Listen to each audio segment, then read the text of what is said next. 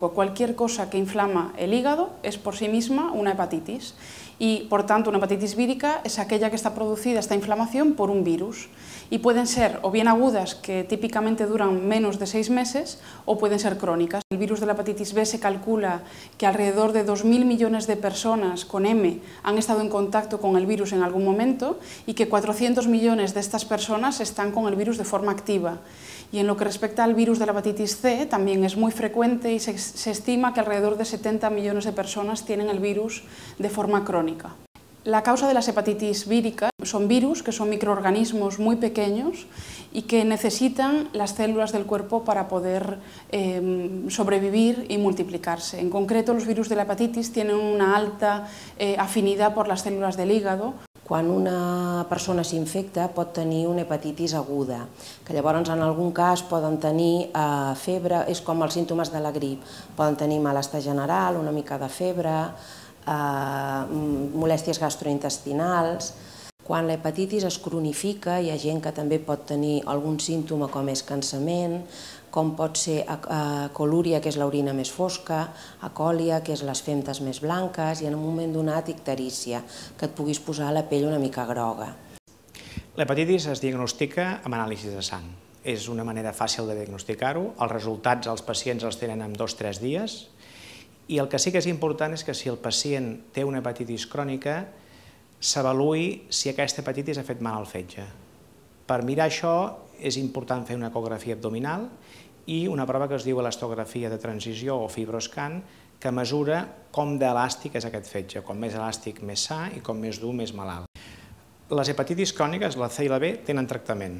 L'hepatitis C, afortunadament, avui en dia es pot tractar amb fàrmacs eh, que es donen per via oral, que són molt segurs, es donen per un període de temps molt curt, 8 o 12 setmanes, i el 99% dels pacients es curen, sense efectes secundaris. I com dic curació, vol dir curació, el malaltia es cura. Evidentment, si el malalt, eh, per les circumstàncies que sigui, té una malaltia avançada, s'ha de continuar fent el seguiment, però el virus ha desaparegut de l'organisme.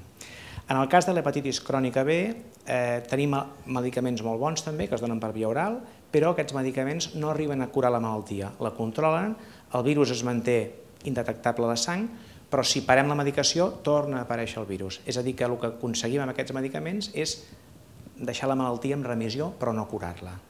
La forma de transmisión de las hepatitis víricas es variable en función del virus del que hablamos. Pero globalmente podríamos decir que hay tres formas por las cuales el virus de la hepatitis se puede transmitir. La primera es por vía parenteral, esto es por la sangre o por hemoderivados. Esto es muy frecuente sobre todo en la hepatitis C. Eh, por ejemplo, casos de pacientes que se han mm, contagiado por transfusiones antiguas antes de que se conociera el virus, o bien por eh, compartir instrumental eh, de drogas o instrumental de higiene que ha tenido contacto con la sangre, etc. La segunda gran vía de transmisión de los virus de la hepatitis es la vía sexual. Esto es eh, sobre todo mucho más frecuente con el virus de la hepatitis B, de hecho es la manera más frecuente de contagio en nuestro medio por vía sexual, aunque también es posible para la hepatitis C.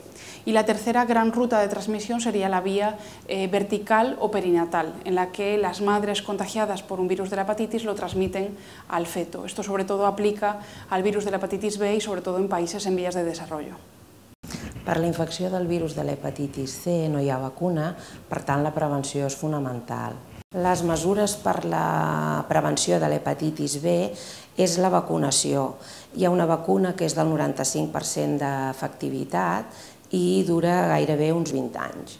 A veure, una persona que té una hepatitis, de, tant bé com C, ha de fer una vida totalment normal, però es recomana que faci una dieta saludable, doncs tot es filtra pel fetge, tot el que mengem i bevem ho filtra el fetge, i és important doncs, fer una bona dieta. També és recomanable que es faci exercici físic i sobretot el que és més important és l'abstinència de l'alcohol. El que li diria a un pacient que li han diagnosticat una hepatitis és molt senzill. Eh, disposem de medicaments molt bons, cada cop millors, no ha d'estar neguitós o neguitosa, és una malaltia que en alguns casos té curació i si no en té es pot controlar molt bé. Per tant, avui en dia és molt raro que una persona amb hepatitis eh, tingui conseqüències severes pel, pel, per la seva salut, perquè realment disposem de medicaments molt bons. És a dir, que sóc molt optimista i d'aquí uns anys no ho serem més.